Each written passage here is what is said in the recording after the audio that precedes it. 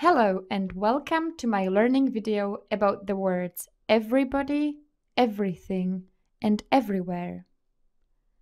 Hallo und willkommen in meinem Lernvideo zum Thema everybody, everything und everywhere. Wir fangen mit dem Wort everybody an. Auf Deutsch heißt es alle oder jede, jeder. Zum Beispiel She's very popular. Everybody likes her.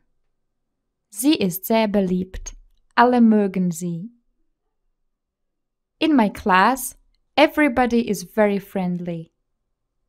In my Den kompletten Film und viele weitere findest du auf www.sofatutor.com. Über 7000 Lernvideos erklären dir, was du für gute Noten wissen musst. Tests überprüfen dein Wissen nach jedem Video. Echte Lehrer helfen dir im täglichen Live-Chat sofort bei deinem Problem. Du kannst außerdem Privatstunden bei deinem persönlichen Online-Tutor buchen, um tiefer in ein Thema einzutauchen. So helfen wir dir, deine Zensuren ohne großen Aufwand zu verbessern.